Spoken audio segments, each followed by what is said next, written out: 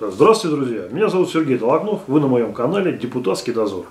Сегодня я хочу вам сказать о том, что чиновники тоже умеют работать.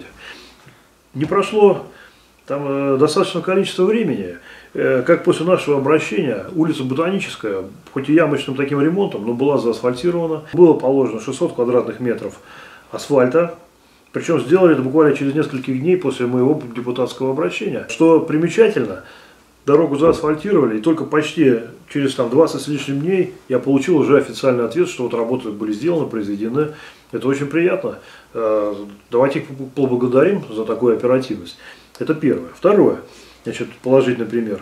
Значит, было обращение написано по Гостилевскому шоссе, э, у дома 7 находится контейнерная площадка. Она была в таком не очень хорошем состоянии. Значит, э, жилкомсервис привел ее в порядок.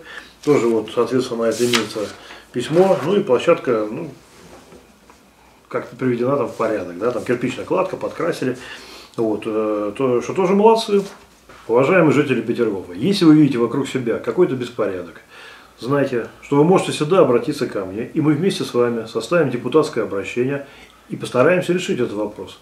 Если этот вопрос, мы решить его самостоятельно не сможем, то мы привлечем тогда средства массовой информации и пропесочим бездельников.